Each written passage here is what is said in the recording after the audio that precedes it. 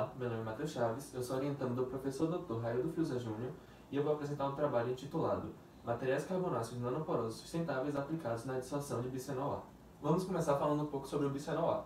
Ele está presente em diversos polímeros, principalmente em materiais plásticos. Nesse material, apesar de resiliente, ele pode ser liberado com aquecimento, então devido à má polimerização.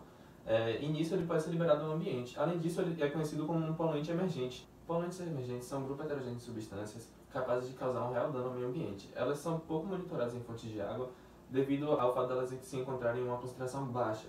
Porém, mesmo em concentrações baixas, elas têm o potencial de causar danos, e com o avanço das técnicas e tecnologias, é possível detectar cada vez mais essas substâncias. Os efeitos do bisfenol no corpo humano vão desde provocar a puberdade precoce a provocar o crescimento vaginal, mamário e uterino, que pode desencadear em outros problemas. Como esses poluentes não são removidos no tratamento convencional de água e esgoto, é, esse trabalho visa a produção de carvões ativados que podem ser aplicados em colunas, a qual é, serão utilizadas no tratamento das águas e podendo devolver elas totalmente limpas ao oceano. O uso de carvões ativados vem por esses materiais serem bastante versáteis, podendo haver alterações na sua textura e na sua química de superfície muito fácil, a depender do método de preparo. Os materiais utilizados nesse trabalho foram produzidos a partir de serra-pilheira, que é a camada superficial do solo, constituída de folhas e galhos e outros materiais provenientes da vegetação local. Ela pode liberar tanto nutrientes quanto substâncias fitotóxicas ao ambiente.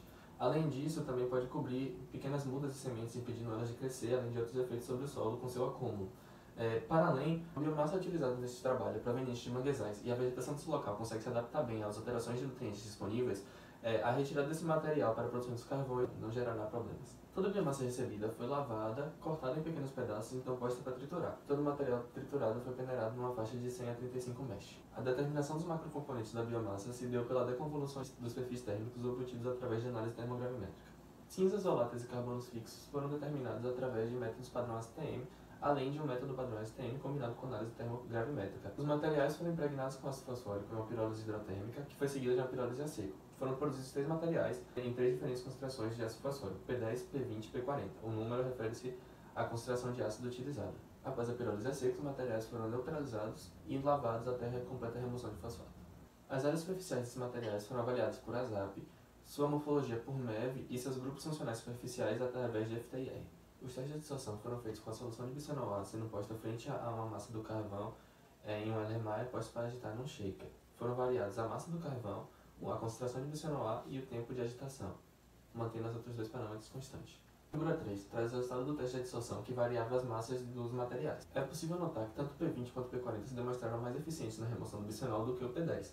Porém, P20 comparado ao P40 utiliza menos ácido fosfórico na sua ativação, o que é mais ambientalmente amigável. Portanto, esse foi o material escolhido para os demais testes.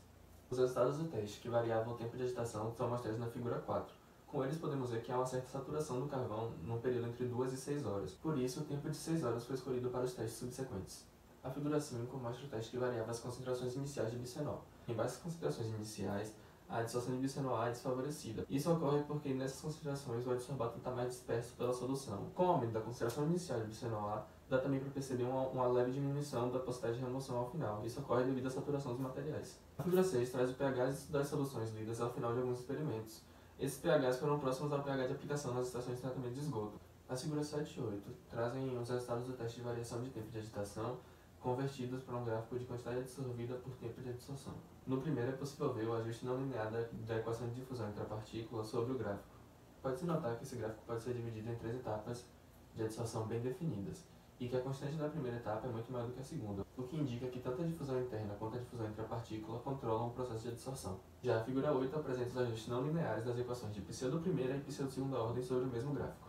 Como o ajuste de pseudo-segunda ordem foi o que melhor se adequou ao gráfico, é, isso pode indicar que a dissolução do bisfenol A nos sítios ativos do carvão é controlador do processo de dissolução. Também foi construída uma isoterma em quantidade dissolvida por concentração do equilíbrio.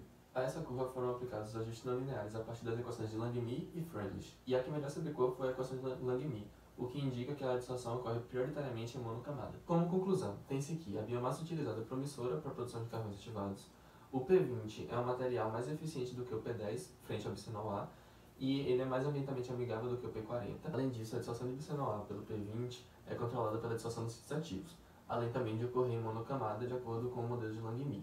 Além disso, a capacidade máxima de dissolução em monocamada de bisfenol A pelo P20 é 174 mg por grama.